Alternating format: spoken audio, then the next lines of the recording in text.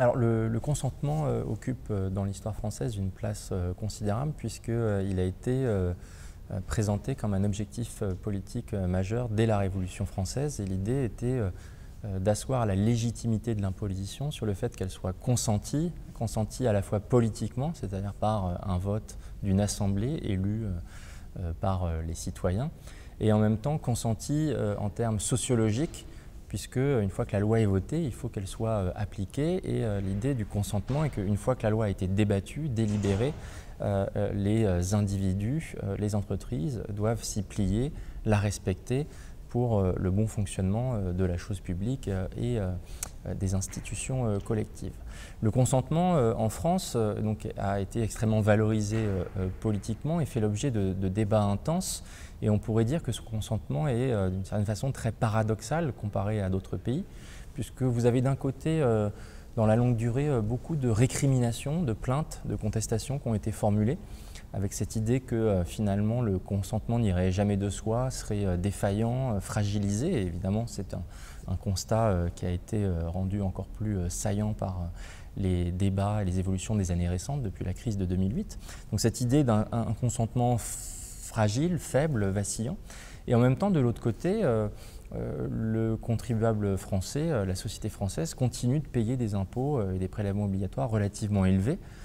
Que l'on juge ça positif ou négatif, c'est un fait, c'est un constat. Et donc il n'y a pas de rapport direct entre, disons, la teneur des jugements négatifs qui sont portés, des récriminations, et le fait, de l'autre côté, que malgré tout, on a en France un système de prélèvement et de redistribution qui est relativement important et qui continue de jouer un, rôle majeur. Et peut-être d'ailleurs que les deux éléments sont liés, on pourrait dire que historiquement, le consentement à l'impôt en France est un consentement qui a été fondé sur énormément de débats, de tensions, de réticences qui parfois créent des blocages, des statu quo, beaucoup de, conservatisme, mais qui en même temps a créé, euh, disons, la condition, les conditions euh, de création et d'acceptation dans la durée de systèmes qui bien sûr sont critiqués, mais qui en même temps sont marqués par une euh, profonde parfois, disons, stabilité, presque immobilité, qui rendent difficiles les réformes qui sont proposées au cours des années récentes.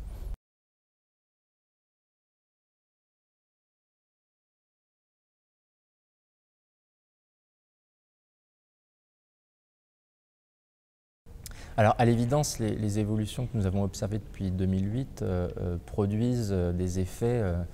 négatifs sur la perception de l'égalité devant l'impôt. les scandales récents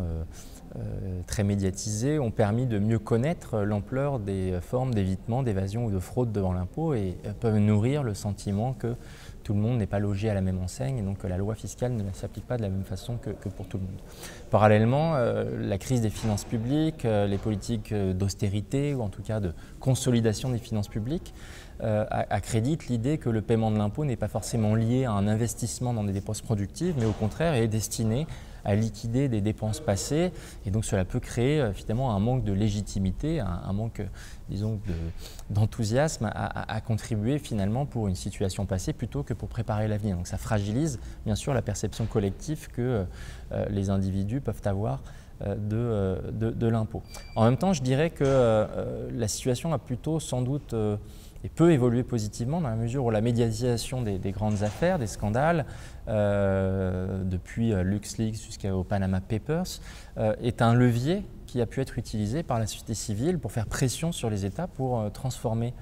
leur législation, pour agir efficacement pour réprimer la fraude, avec cette idée que, bien sûr, il y a des comportements déplorables, des comportements de fuite, d'évasion, mais en même temps, on a désormais euh, les euh, capacités d'enquête, de médiatisation pour euh,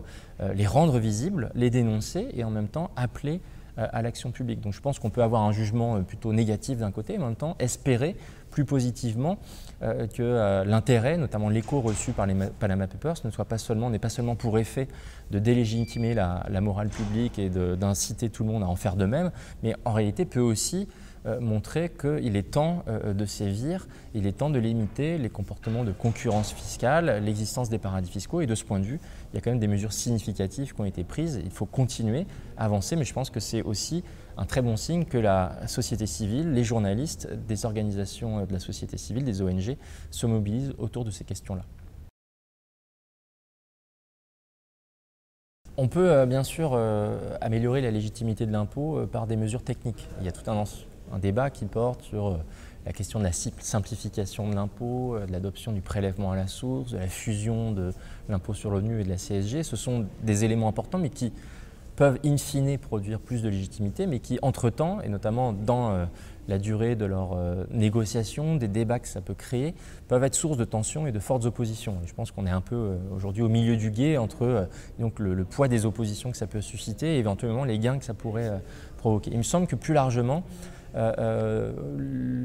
débat français gagnerait à, s'intéresser davantage euh, non pas seulement aux enjeux financiers et économiques de l'impôt, mais à bien euh, mettre en avant l'ensemble des effets euh, que l'impôt peut produire d'un point de vue social, d'un point de vue collectif. Et surtout, je pense qu'il serait important de démultiplier les formes de recherche et d'investigation sur les, conditions et les facteurs qui facilitent le, consentement à l'impôt. je dirais donc que